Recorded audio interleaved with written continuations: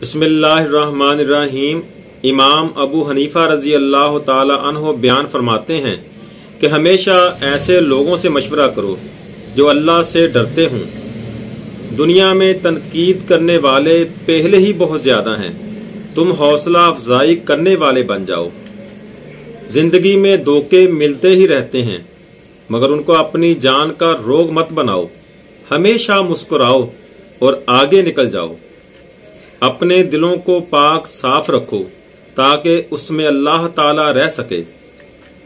अपनी ज़ुबान की हिफाजत करो, क्योंकि यही तुम्हारी इज़्ज़त और जिल्लत की जिम्मेदार है। जो ऊँची जगह पर खड़ा होता है, उसको ज़्यादा आंधियों और तूफानों का सामना करना पड़ता है। कोई कितना ही बुरा है, उसका पता तब चलता है, जब उसे कोई ओहदा, ताकत या दौलत मिलती है। सीधे रास्ते पर चलो और लोगों को सीधा रास्ता दिखाओ। तुम्हारी ज़िंदगी खुशहाल हो जाएगी। अपना काम ईमानदारी से करो ताकि तुम्हारा रिजक हलाल हो। नेकियाँ कमाकर जन्नत में जाओ ताकि तुम्हें हमेशा की आज़ादी मिल जाए। लोगों को इज़्ज़त दो। अगर इज़्ज़त नहीं दे सकते तो बे इज़्ज़त भी ना करो। मखलूक के हाथ में नहीं है, तुम्हें नुकसान देना। बस जो तकदीर में लिखा होता है, वही होता है।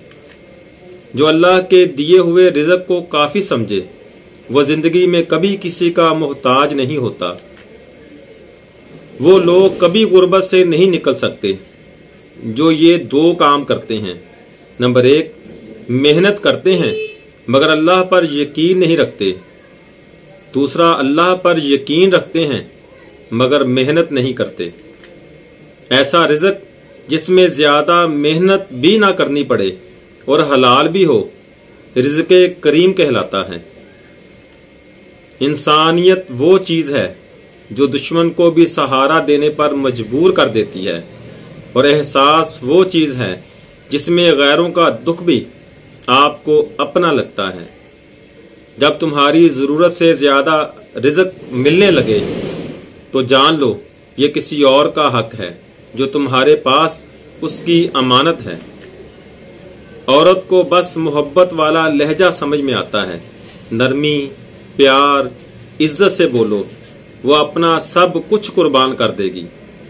जिसने आपको ऊपर चढ़ने में मदद की, उसको तोड़ने की कभी कोशिश मत करना, क्योंकि वापस उतरने में तुम्हें उसकी सख्त ज़रूरत पड़ेगी।